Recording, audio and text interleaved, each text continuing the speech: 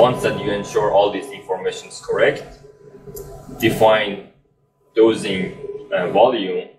For example, here you're using 5 microliter dosing volume. Define dosing rate.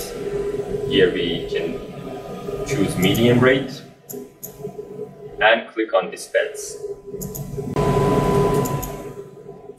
Now that the droplet you can see is formed, see the reflection of the droplet on your on your surface of the sample here because we are using glass slide.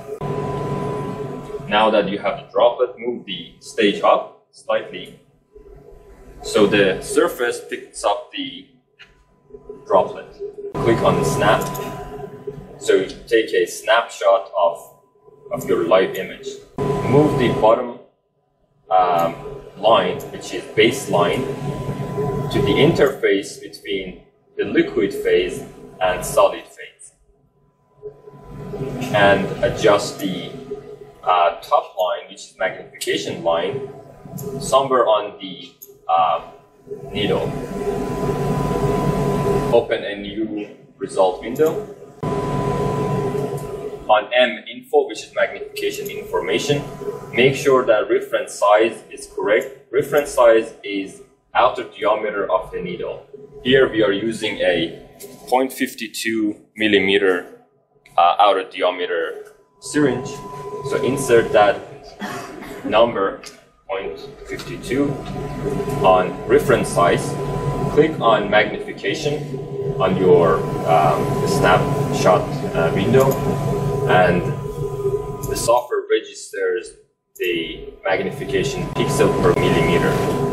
Click on theta over R, which calculates the results and populate that on, on your result window.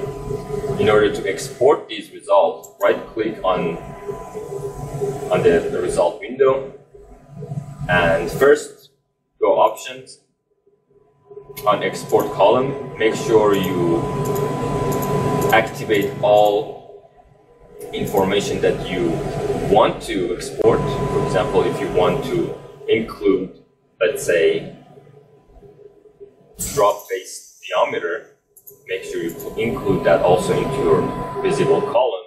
Say OK. And click on export result data.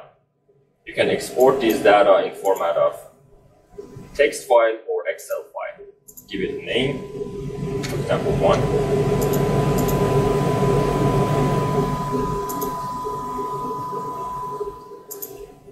And save it as Excel format.